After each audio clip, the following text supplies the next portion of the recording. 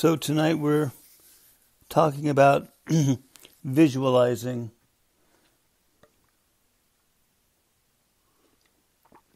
Ah, this is Edward and Anne, sonsofgod.com.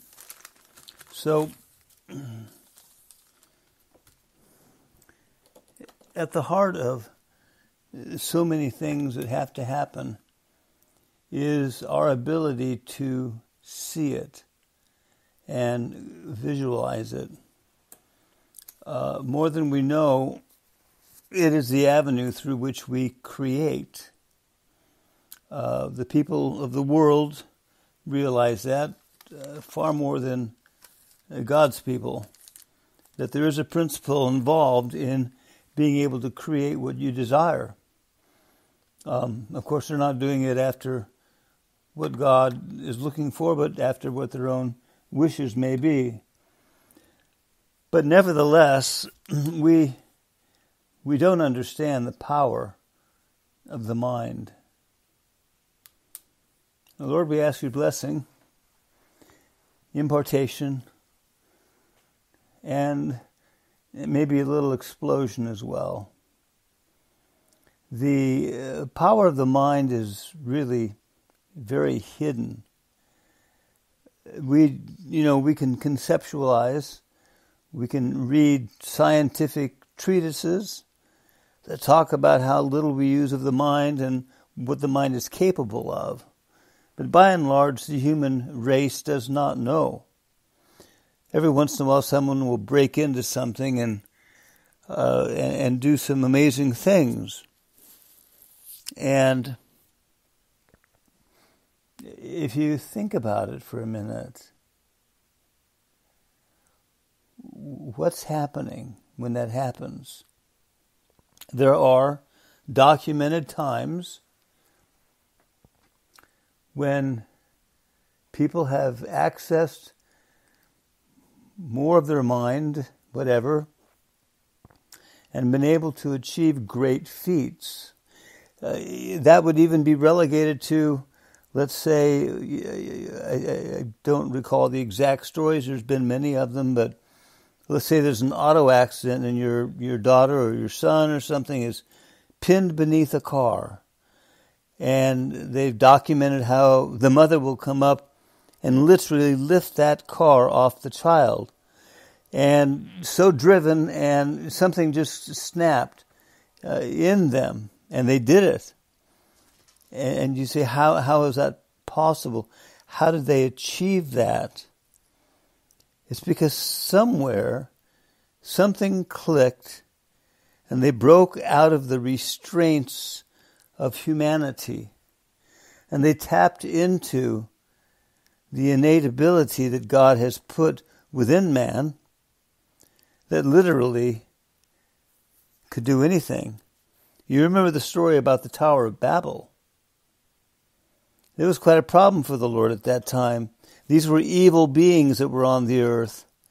And they were, according to the story, building a tower that would reach, you know, whatever. Now that's probably symbolic because building a tower in the sky is one thing, building an access in the realm of spirit uh, is another. But they found that through their agreement, they were harnessing something of a power or ability within them that they literally could do anything. And the Lord saw that and knew what was happening and realized, okay, this is not going to happen. And he put confusion, you know, and as the, as the story goes, uh, uh, they began to literally not be able to communicate nor understand one another. But the fact remains that until that time, they had found a way of accessing something within the mind and through their agreement where they could do anything. Now, this is thousands of years in the future since then. But it hasn't really changed. There is an innate ability hidden to man, blocked, I'm sure, by the Holy Spirit, uh, uh, um, that does not allow that level uh, to really be achieved. Yet, we face a challenge.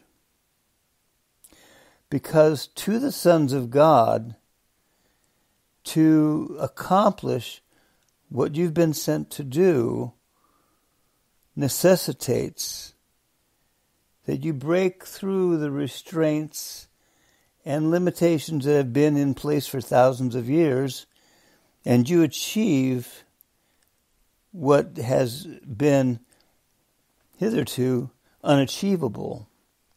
Now, how does that come about? Well, comes about through the mind of Christ. Really, you just can't say, okay, you know what? I'm a Christian and and uh, and God says I'm unlimited, so I'm I'm just going to go do this.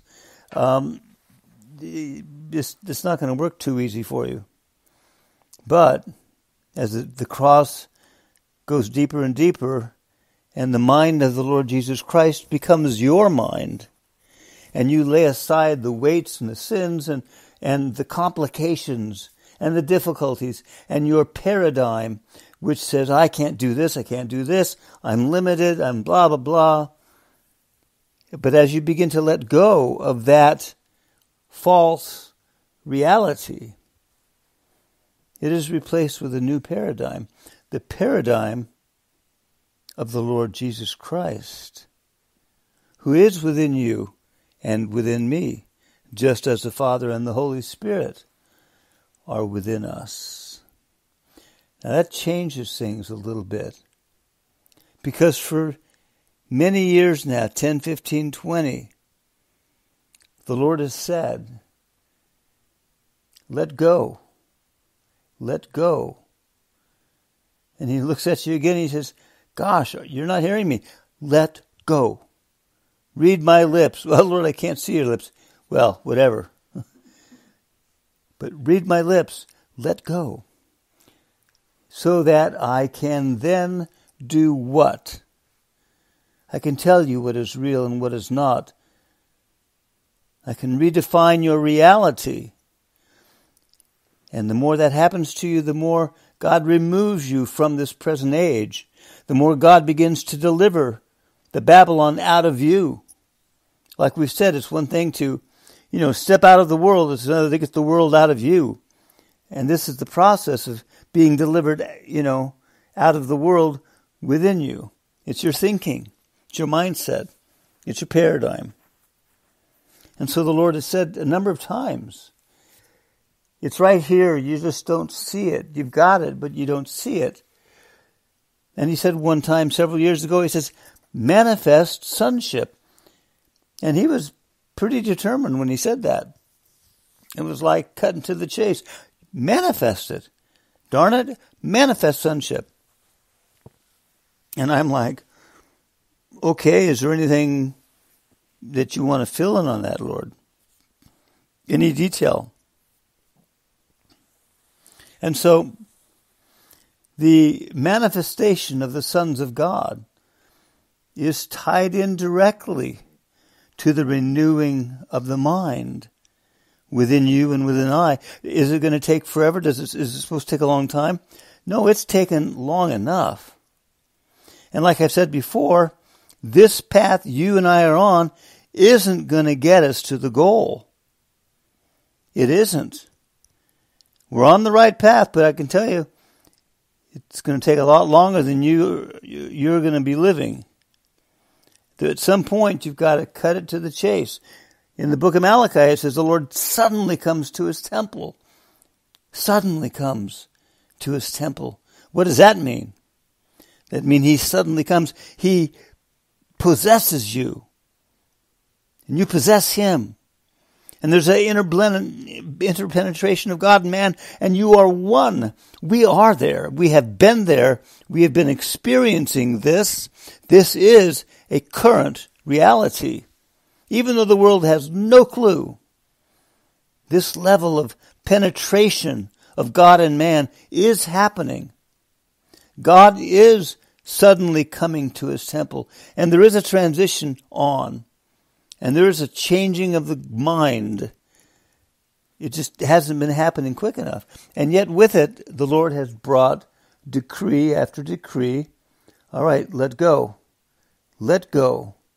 You're still holding on to unbelief. You're still holding on to a paradigm of reality that is not true. You're living in a world of illusion. Yes, I get that. I get that. I mean, you're really living in a realm of illusion. Well, maybe I don't get it. Because you've ascribed to everything that your eyes see and the mind of the flesh then interprets. Because that's how you have evolved to this point. And the mind then says, okay, that is real. And so it's a lot more than just the mind looking and saying, okay, that's real.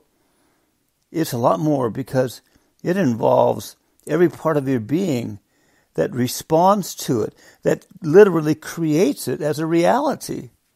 I mean, we're talking deep waters here to even really understand what the process is of how reality is even created. You can think, well, reality is reality, it's just here. No, I, I don't think so. I think what we are as human beings creates a reality that we then see from a certain perspective. If you saw it different, would it make it any different? It certainly would. Because you would then, your reality, your paradigm, would create a whole different scenario. That's why the word says, as a man thinks in his heart, so is he. If you think you're limited, you are. If you don't think you can hear the voice of God, you can't. But the Lord has said, I can hear. Yes, you can. But no, you can't. As a man thinks in his heart, so is he. Are you limited and bound? If that's how you see yourself, then you are. And yet God has said, I have set you free.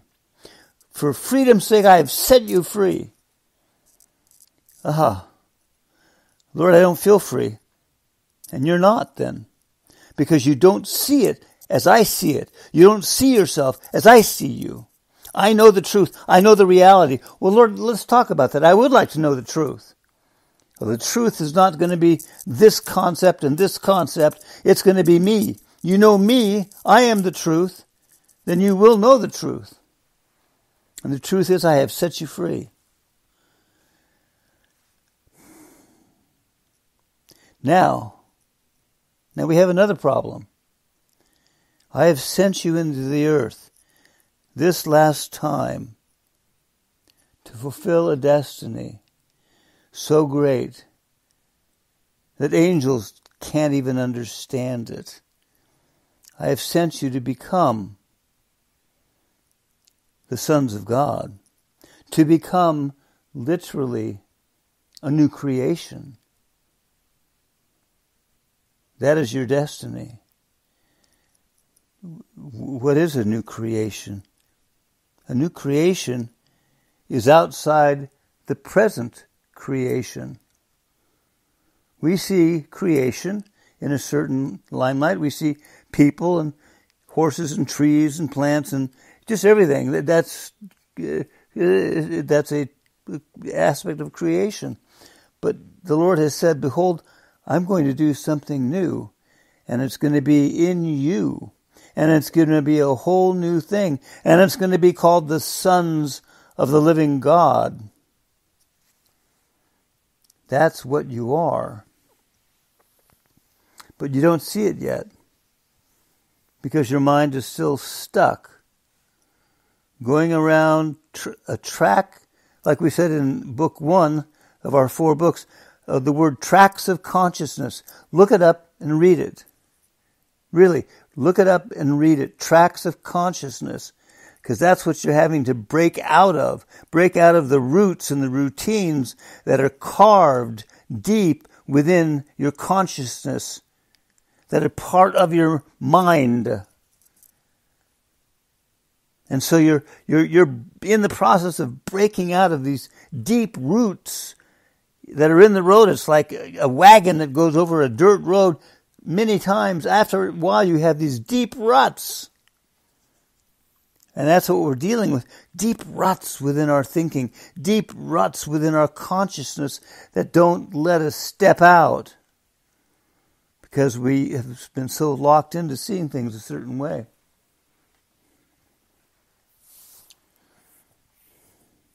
So we're talking about visualizing. I think we haven't got there yet, have we? But visualizing. Several times now in the last two, three years, the Lord has come and said, Okay, you've already got resurrection life. You already have it. It is resonating within you. You're walking around and you've got this resurrection vibe happening and you don't know it. But resurrection is, is a frequency. It really is. It's a frequency. Just like the Lord is a frequency. You know, everything is frequency. And it's in you. You have resurrection life. Lord, we, I, I, I believe that, but I haven't been able to manifest it yet. So the next step, I want you to visualize. See yourself on the other side of this change. See yourself there. Picture yourself. And in, in the world, you know, they, they call that visualizing and they add another element to it. They say visualize with emotion, with intensity, because that adds even more of a substantive reality. Well, if the you know, if the the children of this world know these things, how much more should we know and do them after the Spirit? And so we were reading through some visions and things the other day. And the Lord spoke very clearly. This is how you're going to visualize. How often have we gone to wait on the Lord? You probably as well. And we're, we're there quieting, quieting ourselves and just looking to the Lord. And the mind works by visualizing. You know, it doesn't have a choice. It just does that. Someone talks to you, you're automatically forming, uh, you know, something in your mind of what it is. Just like when someone talks, you're automatically forming an opinion. But the mind get it just it just functions that way.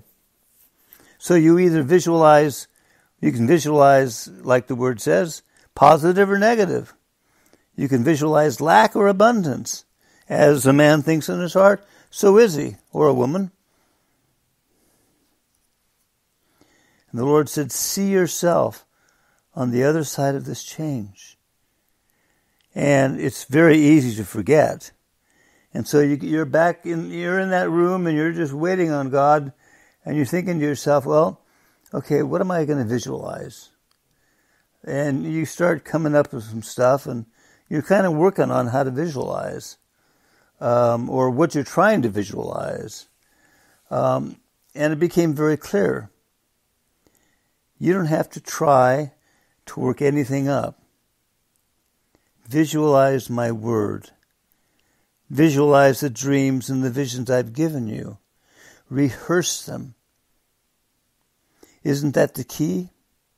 The key to success was it Joshua? He meditated on the word day and night, and therein was his victory, was his strength, was his secret. And so we go into the Word. And, th- and that's why the books were written, the four books.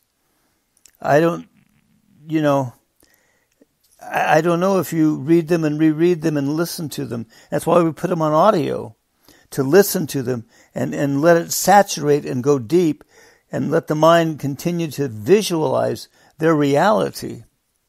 That's why the audio books were done. Not just to have something to go to sleep to,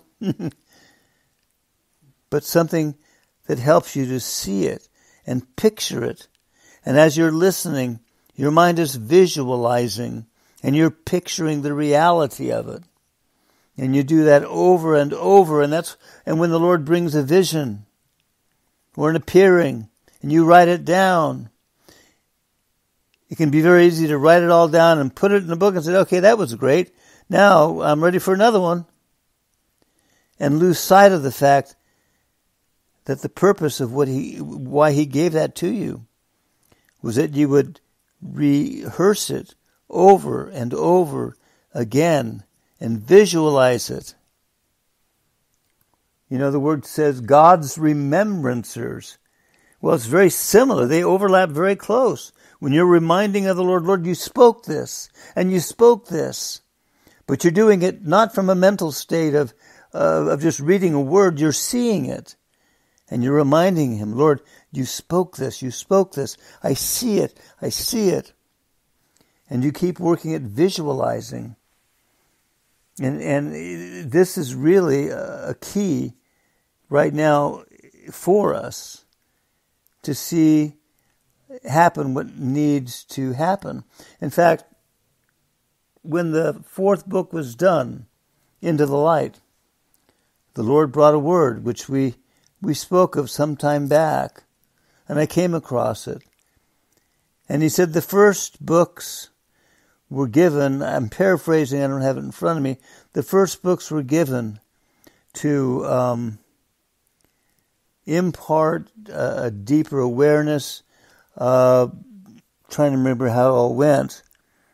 Uh, but he said the last book is magic because it will propel you into a realm you haven't walked in before, and you'll begin to experience that. I'll have to find it and read it uh, maybe on the next uh, um, word but the, the books are very, very important. The words that the Lord has spoken, very, very important. That we rehearse them, we remind Him, and we rehearse these words, and we see them, and we visualize them. That's what we have to do right now. How are we going to get from point A to point B? I don't know. But I know that we have to get there. This is the time what is happening in the earth is one huge distraction, or can be, because we're in the time of the end. We're in the time of judgment. We're in the time of the purification of the earth. What's going on in Europe, I have no sympathy for anybody. It's the judgments of God that are falling and the purification of the earth. And the word has come many times. Millions upon millions are going to perish. And people will run to hide the, themselves under the rocks because of the manifesting of the presence of God that comes. And you say, well, but God is love. Why would he kill millions of people? Well, you'll have to ask him. But he's purging and purifying the earth and the children of the earth. There's so much evil. Europe is so evil, so evil. I mean, so evil. And we, we, we're only at the beginning. We're only at the beginning of what's going to unfold. And the word was that once it begins, it's going to unfold rapidly. And I think that's, ha- that's going to begin to happen now. It's going to move much more rapidly. The COVID 19 is just one aspect of it. There's more coming, a lot more coming. We have to fulfill our destiny. We have to fulfill why God sent us to break through, to bring in the kingdom to experience the change and become a new creation before God. something that Joel references that has never been done on the earth before and never will for years to follow. That God brings forth something new. And the admonition, behold, I will do something new. Will you be aware? Will you be aware? Or will you be caught up with all the distractions of the judgments that are falling now upon the satanic hordes? These events playing out have nothing to do with these, these corrupt leaders of nations. They're all so corrupt. But this is a judgment upon a world of spirit of evil that has been in place for a very long time. And it's time now. God is going to bring it all down and has begun. Has begun. The U.S. government is such a corrupt institution, it's ridiculous. All of it. Republicans, Democrats, whatever they want to call themselves, they're all corrupt. There might be one or two here or there, but this is where we are. And the problem is, it's time now to finish the transition. It's time now to become and to manifest. The cloud of witnesses have been coming around more recently because they know it's the time for our transition. Because our transition will be their breakthrough. And it will be a breakthrough that will affect the earth and the heavens on a level that we've never known, never seen. Well, this is the word for the evening. The Lord bless you and strengthen you and give you eyesight and clarity to see through the smoke and screen, or screen and smoke, or whatever it is, and to see the truth, to see Him. Anne and I send our blessings. Amen.